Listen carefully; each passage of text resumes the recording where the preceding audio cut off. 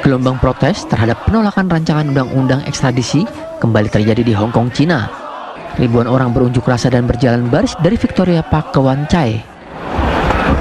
Kepolisian menjaga ketat lokasi protes, termasuk di komplek pemerintah. Sementara beberapa ruas jalan utama di pusat kota ditutup sementara hingga unjuk rasa selesai digelar. Kepala Eksekutif Hong Kong, Carrie Lam telah meminta maaf atas kekacauan yang disebabkan oleh RUU ekstradisi. Lam telah menangguhkan RUU tersebut tanpa batas waktu dan menyatakan bahwa RUU telah mati. Namun, upaya Lam tidak membuat para pengunjuk rasa dan aktivis merasa puas.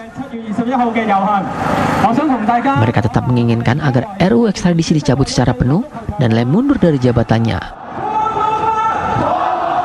Aksi protes ini rencananya akan berakhir di pengadilan tinggi untuk menyampaikan tuntutan mengenai penyelidikan kekerasan yang dilakukan oleh polisi kepada para pengunjuk rasa.